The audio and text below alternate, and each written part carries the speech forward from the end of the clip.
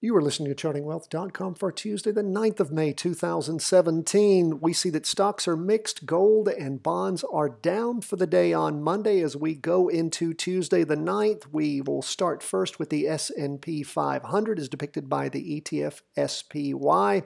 We are in a current downtrend on our weekly chart that may be coming to an end. It started back on the 31st of March. It lasted for several weeks and we did very well with that. And then we saw the two day crossover going up. Hasn't been strong enough yet to pull the weekly over, but starting on the two day chart ending on the 27th of April, we had a confirmed up move. Now, again, we don't trade until we have the weekly moving in the same direction as the two day. It is not safe to do that, but we do have that confirmed. We continue to see up movement. Let's see, we're going on one, two, three, four, five, six, seven, so about 14 days of up movement. We have the derivative oscillator is positive along with the PPO, the price percent oscillator. And if indeed we do see that weekly vertical crossover occur, it hasn't yet. Like I said, we're still in a confirmed down move since the 31st of March, but it does appear to be getting closer and closer. If that happens by the end of the week, then of course we will call it. For the day, like we said, down just a little bit, 0.01%. Now, as we focus in, let's look at the four hour chart and sort of see where we are.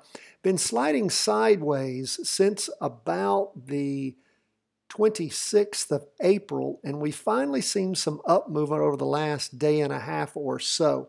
So again, we're above the two-day trend line, and we're slowly moving. Actually, we still haven't closed above the highest point all the way back on the afternoon of the 26th of April. So we're continuing to see if there's going to be a breakout four-hour chart is trying to cross over going up, has not managed to do that since it crossed over going down on the 3rd of May. So just pay attention.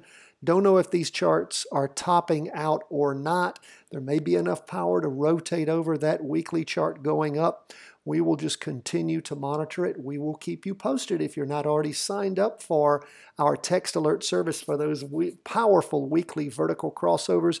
You can be by just simply texting to the number 33222 the word charting wealth. That's our name.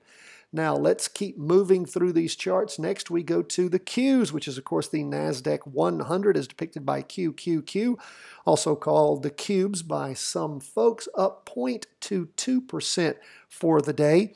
We had a switchback occur, if you remember. That weekly chart crossed over going down. Doesn't happen a lot, but it was short-lived back on the 13th of April, and then it crossed back over two weeks later, going up on the 28th of April, and we've seen considerable up movement. We also saw that two day chart cross back over going up. That occurred on the 27th, right before the weekly vertical crossover reasserted itself. And of course, we jumped in that following Monday as per the text messaging we sent out to everyone when that weekly vertical crossover occurred. We jumped in at 10:30 a.m. and we have seen nice price appreciation since then. So again, that's what those weekly vertical crossovers are all about, giving you a heads up on some confirmed trending price movement. And that's what we are all about. We're about following trends, not forecasting, but finding trends that have established themselves and then jumping into them. Okay, let's continue to move through these charts. Again, we are currently in that play on the Qs. What's going on on TLT? Well, TLT is the 20-year bond fund. Remember, we have an, a confirmed up move on that chart all the way back from the 3rd of February.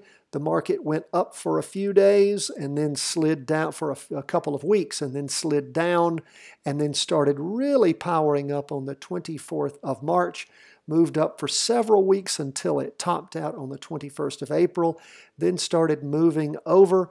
We had that confirmed crossover going down on the two day chart for the two day chart ending on Monday, the 1st of May. And of course, we've continued to see strong down movement since then, breached the weekly trend line uh, several days ago, and we just continue to see that downward march. We, of course, are waiting to see if and when we have a crossover going down. And again, you know, bonds are trying their best to hold that energy and not move over going down. Why? Because the market appears to be trying its best to top out. And we shall see how the struggle goes. If indeed the market does roll over, then of course you can expect TLT to bounce back strongly due to the inverse correlation between bonds and stocks. What's that all about? Well, typically, if the stock market's doing good, money flows from bonds into stocks. If stock market's doing bad, the opposite occurs. So we're continuing to struggle. We saw things hit a bottom all the way back on uh, in like mid December. That is where things started to try to move over. Of course, we had that weekly vertical crossover in early in early February, and we've just continued to watch bonds struggle with the market, and we'll continue to pay attention to that. But with the the way that things are currently going, with that two-day crossover going down, we're not calling anything in a bond fund right now. We are just waiting to see what's going to win out. Is the two-day chart going to be strong enough to pull the weekly over, or have we found a bottom and are things going to rotate back over? We'll keep waiting. If this two-day chart rotates back over going up, we will be jumping back into bonds. Now, let's go to gold and see what's going on. Gold's currently in a confirmed up move on that weekly chart, and the two-day chart rotated over going down confirmed weekly, a confirmed two-day crossover going down back on the two-day chart ending on the 24th of April.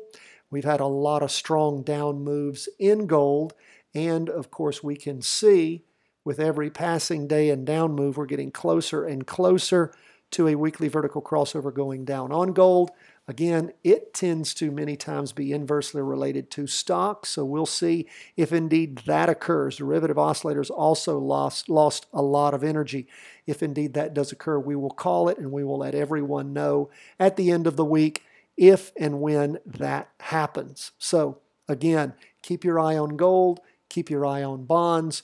We are waiting to see what's going to happen with the S&P 500 and of course we continue to be into our up move on the Qs and making virtual dollars there. Thanks so much, my friends. God bless. Hope you are doing well. Follow these charts with us every day. We love to hear from you. You can write us CW at chartingwealth.com.